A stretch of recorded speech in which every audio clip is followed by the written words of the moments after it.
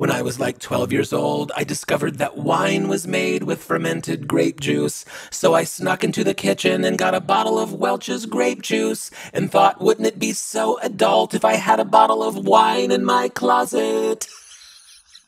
and I checked on it every day to see if it had turned into wine yet, and then eventually just forgot about it. And then, like a year later, I rediscovered it and thought, oh my god, there's a bottle of wine in my closet. and I thought now is the moment. So I opened it up and it smelled disgusting. And I was like, Are you ready to be an adult or not? So I put the bottle to my lips and this like disc of mold slid into my mouth. and I thought, I guess I'm not ready to be an adult. When I was like eight or nine years old, my grandpa took me to a store, and behind the counter there was a display of toys and my grandpa said, Pick out one of those toys. And I said, I'll have that Wonder Woman doll. And the woman behind the counter looked at me and said, That toy is for little girls. And my grandpa looked at me and said, Is that the toy you want? And I said, Yes, grandpa, give me that Wonder Woman doll. and he bought the doll for me, and the woman shot me a dirty look. And the moral of the story, I think we can all agree, is that Grandpa made me gay. At the seventh grade dance, I remember there was this girl named Tara, and Tara had really developed like way earlier than the other girls. And at the dance, they played that Bon Jovi song, Living on a Prayer, and Tara started dancing around, and she was like, I love this song and uh, she was really bouncing around. And all of the boys at the dance were like, wow. And so was I. But from my perspective, it was because like her hair looked really amazing and her dance moves were almost like she had choreographed to the Bon Jovi song. And I went right up to Tara and I said, Tara, you look amazing. And all the guys were like, wow, Kevin is really bold. And Tara was like, thank you, Kevin. So, right after college, I realized I needed to go to another school to learn how to actually make money. And everyone was like, You'd make so much money doing hair. And I thought, Oh my God, I'd make so much money doing hair. So I went to beauty school. But two weeks in, I totally regretted it. I hated it so much. We just kept looking at pictures of nail fungus and lice. And I remembered humans are disgusting. So I went to the office and said, Could I please withdraw and get a refund? And she said, That's against policy. Do you have a valid reason? And I knew I was going to have to go big or she wasn't to let me out of it. So I said, I just got a record deal. And what I wasn't expecting is she screamed at the top of her lungs, then burst out of the office and announced it to the whole school. And now I'm signing autographs. But I didn't care because I got my money back. When I was like 10 years old, there was a box of maxi pads in the bathroom, and I said, Mom, what are these? And she said, You put them in your underwear. So the next morning before school, I put one in my underwear, adhesive side up, and went to school, and it was really uncomfortable. And then I went to the bathroom to try to peel it off, and that adhesive is really strong. And I was in there a long time, and then the teacher came in and said, Kevin, are you okay? And I said, yes. And then I thought maybe if I get it wet, it'll peel off easier. So I went over to the sink and then the teacher came back in and she just froze. I could tell she couldn't quite comprehend what she was looking at and she just turned around and. When I was like 14 years old, I was watching a movie with my mom and dad in the living room and that terrible moment happened that we've all experienced where you're suddenly watching a love scene with your mom and dad. and the air sucked out of the room and we're all super awkward.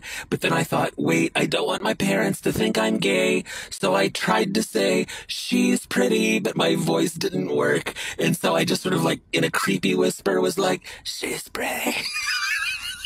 I worked at Olive Garden all through college, and when I graduated, I was like, I'm gonna move up in the world, and I applied to work at a fancier Italian chain restaurant, and I got dressed up and got my resume and went in there, and the manager made me sit down and take this very long personality test. It was all questions like, sometimes people are dishonest, agree or disagree, and it took like 45 minutes. It was crazy long, and then the manager disappeared into his office and reemerged a few minutes later with this very serious look on his face, and he was like, I'm sorry, we can't interview you. and I was like, what? And he was like, you failed the personality test. and I was so shocked. All I could think of to say was, I'm educated. And then he just looked at me and sort of shrugged. when I was a kid, I wanted Dungeons and Dragons so badly, but I wasn't allowed to have it because obviously I'd get possessed because it was the 80s. But finally, I had enough of my own money to buy it myself. So I went to the toy store and then brought it home, and I was so excited to open the box and play with the dragons. But imagine my surprise when it was just a couple of pads of paper and some dice. And I was like, what is this? And realized I made the biggest mistake of my entire life. And I went back to the toy store to return it. And they were like, why? And I was like, I think it's broken. and they're like, what? And I would double down, even though it didn't make sense. I was like, I think it's broken. I tried to play it and it didn't work. and they gave me my money back. The answer is no. in my super fundamentalist Christian youth group, we were doing a Thanksgiving dinner for the homeless, and there was this guy who was sometimes weirdly flirty, and he was chopping up these sausages, and then he licked his finger and said, these sausages are delicious, and then I said, are they? And then for some reason he immediately stuck his finger in my mouth, and I sucked the sausage juice off his finger, and then in horror realized the pastor was standing right there and saw the whole thing, and the look on his face was something I've never quite seen before. It was like confusion and a loss of innocence, and then he weirdly smiled and said, you guys have a special friendship. And then a little bit later, I saw the pastor throw that tray of sausages away. If you wanted to be healthy when it was the 90s, you were supposed to eat at Subway as much as possible. and I was at Subway, and the girl behind the counter was clearly having a bad day, and I asked her to put black olives on my sandwich, and she immediately got irritated, and she was like, Are you trying to make this a healthy sandwich? And I said, Yes. And with anger in her voice, she was like, Well, you messed up with the olives. and it caught me off guard, and I just sincerely said, I'm sorry. I used to live in this really terrible apartment building, and on my floor there were these two guys who had those samurai swords that you might hang on the wall if you're into that. And one day they got into a pretend samurai sword fight in the hallway. But then the samurai sword fight turned real, and one guy got stabbed and had to go to the hospital and he ended up being fine, but his blood was all over the hallway and the landlord didn't clean it up. And I thought, isn't this really unsanitary? And it was really hot that summer and the hallway started to smell like that guy's decaying body. And one time I saw him and I said, this is what you're going to smell like when you die. And he didn't think it was funny, and I was like, whatever, dude, you lost a fake samurai sword fight. When I was like 10 years old, I went shopping with my mom, and I found a crop top shirt that said muscles on it. And I said, Mom, can I have that muscles shirt? And she said no, and I said, why? And she said, because the first time someone says, where's your muscles? You'll never wear it again. And I remember I had to really contemplate what she meant because it didn't occur to me that the shirt insinuated that I had muscles. I wanted the shirt because I was just generally a fan of muscles. When I was in high school, I had a friend with really long hair, and he wanted to turn it into a mohawk, so he shaved the sides of his head and then put a ton of Aussie sprunch spray in the top part, but it wouldn't stand up, and it was this gross flap of hair just hanging on the top of his head, and he started to get upset, and then I said, I've heard you can put an egg in it to make it stand up. So we scrambled an egg and put it in his hair, and now it's even more disgusting. But then I thought, maybe we should iron it. So he laid his head like on my mom's ironing board and we ironed his hair and the egg immediately fried and the whole house smelled like burned egg and he had an omelet mohawk. when I was a kid, I was obsessed with TV dinners. Every time we were at the store, I'd ask my mom to buy TV dinners and she would never buy them. And then around that time, I decided that I really wanted a lizard and my parents strangely bought the lizard with very little resistance. Then we had to go out of town for a couple days, and when we got back home, the lizard was gone, and we couldn't figure out what happened to my lizard. And then we found the lizard's tail in the cat's water bowl. And then uh, that night, my mom bought TV dinners. When I was in seventh grade, I somehow convinced my parents to buy me parachute pants. And that Friday night, we were going roller skating at United Skates of America. And before we left, I put some Sun-In in my hair, and it turned my hair like the color of a tiger. Um, but I felt like I looked really cool because I had some Sun-In and some parachute pants, Sun-In and some parachute pants. And uh, we met at the mall, and now I'm a monster. So I got my ear pierced at Claire's, and then we got to the rink, and they did the all guys skate, and they played a Whitesnake song, and I skated really fast, and I felt like I looked really cool with my Sun-In and some parachute pants, Sun-In and some parachute pants, and my ear was throbbing from the piercing, and I knew I was to get in trouble later, but I didn't care because I felt alive.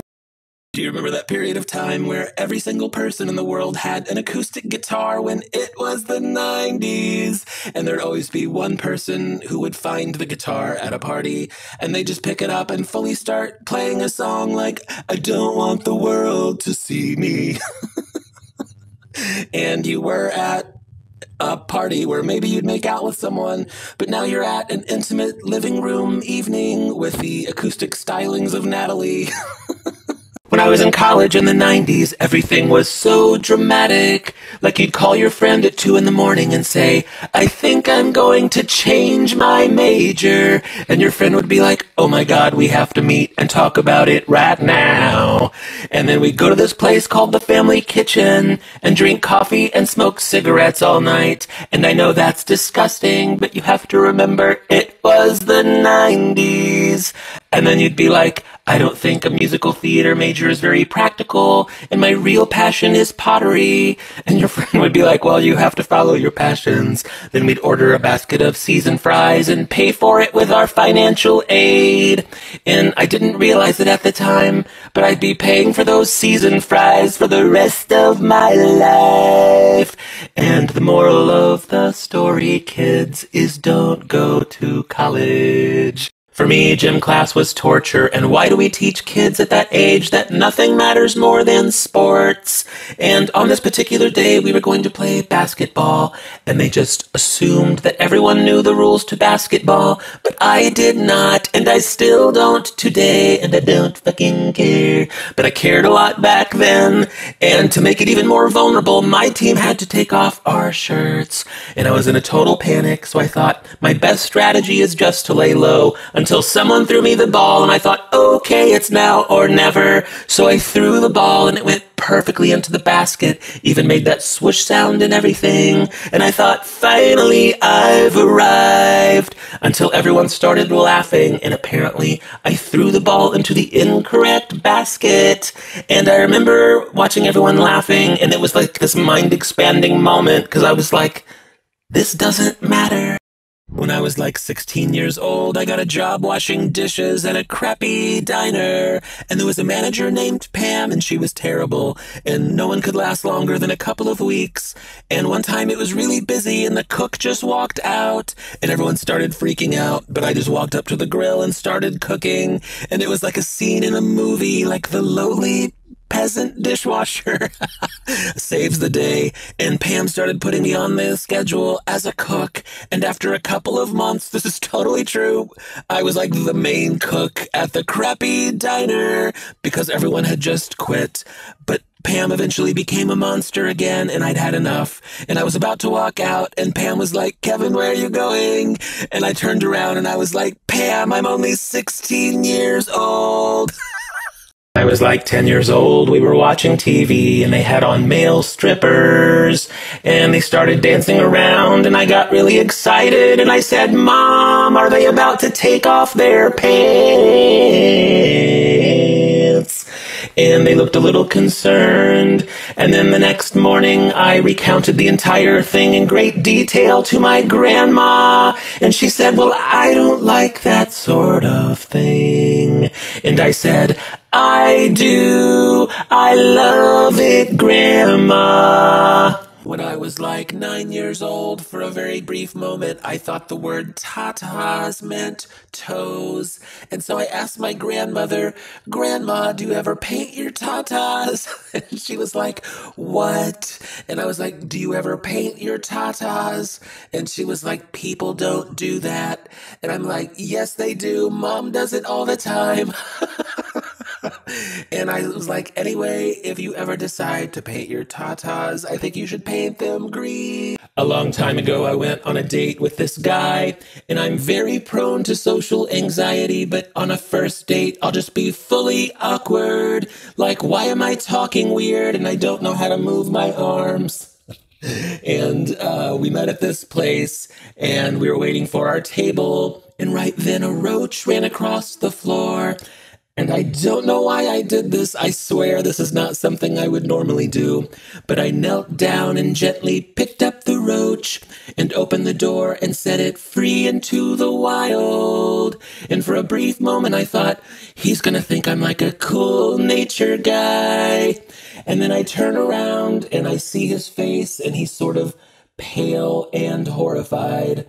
And so I just freeze. And then he's like, do you need to go wash your hands? And now I'm like, great, he thinks I'm not gonna wash my hands, and I don't know, maybe I wasn't. The whole thing was a blur. In college, I was in a relationship with this guy named Adam, and one day where I was working, his ex boyfriend walked in and said, You can have Adam. And I was like, What? You guys broke up like two years ago. And he said, No, we didn't. And then we put our stories together, and this web of deception unfolded. He was in a relationship with both of us for like two years, and neither one of us knew. So we sent Adam's pager a message because it was the 90s. And we went to his house to confront him. And when we got there, he was really drunk and he started crying and he ran out the front door. So both of us ran after him. And now we're all three running down the sidewalk, crying, screaming Adam's name. And at the time, that was really traumatic. But looking back, that story is really stupid.